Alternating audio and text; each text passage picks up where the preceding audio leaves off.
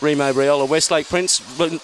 Light on, no more bets. Classic Bet Bunny comes to the box, is Set, ready, racing. Came out in a good line too. Westlake Prince only fairly away, but he's mustering speed and getting around them on settling down. But the five got to the front and can't spend it. It's been quickly collared and headed by Black Betsy. Around the outside goes Westlake Prince at good odds, and he's got it.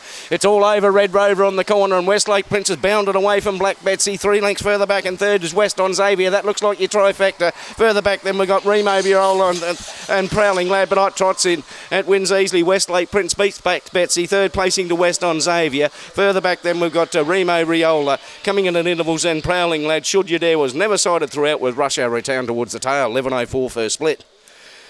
Number uh, eight, the winner, Westlake Prince, well trimmed up late.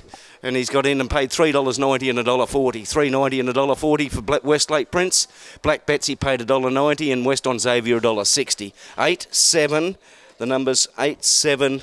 Uh, one should get third from memory across the line. It does. Number one, West on Xavier. And fourth placing, there's a few of them there queuing up for the skinny end of the fourth end of the prize. 8 7 1. Overall time slippery, 23 33. 23 33. Three and a half by four. Three and a half by four lengths with a, uh, with a, think but just waiting for the fourth number to go into the frame. Hasn't been.